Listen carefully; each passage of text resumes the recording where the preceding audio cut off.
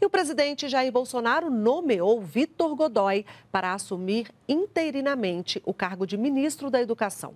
Godoy ocupava a função de secretário executivo do MEC e agora vai comandar a pasta no lugar de Milton Ribeiro.